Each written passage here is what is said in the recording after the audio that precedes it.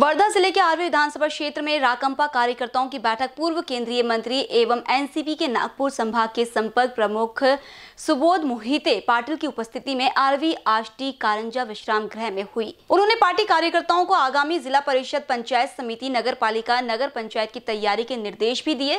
कारंजा नगर पंचायत चुनाव को मद्देनजर देखते हुए केंद्रीय मंत्री सुबोध मोहिते के नेतृत्व में विश्वास करते हुए कारंजा रेस्ट हाउस में अजय कसर, निखिल ढोबाले शिवशंकर वानखेड़े, सौरभ सावरकर, उमेश चाफले ने पार्टी में प्रवेश किया। इस वक्त वर्धा जिलाध्यक्ष, एनसीपी अध्यक्ष सुनील राउत, निरीक्षक राजेश ताकसांडे, पवन तिजारे, रोशन तेलंग आरवी विधानसभा अध्यक्ष गोपाल मरमस्कोले, वरिष्ठ मार्गदर्शक विश्वनाथ मस्के, प्रोफेसर अनीस मुल्ला, सुनील इंगले, प्रशांत घोड़मारे, रिजवान पठान, प्रमोद गवई, बैठक में मंगेश इरपाचे, प्रशांत धोंगड़ी, मारोतराव वाघे, रुपेश मस्के आष्टी, रेवाशंकर वाघ शुभम नागपुरे, मंगेश सुनारे सोनू भार्गव, अता अहमद खान। तलेगांव से आशीष वाघ रुपेश बॉबडे उपस्थित थे। इस अवसर पर मंत्री सुबोध मोहिते ने नगर पंचायत प्रमुख सालवे और इंजीनियर कारंजा की पानी समस्या पर से चर्चा की और बड़ी संख्या में राकंपा कार्यकर्ता उपस्थित थे। कारंजा घाड़गे से रुपेश मस्के की रिपोर्ट।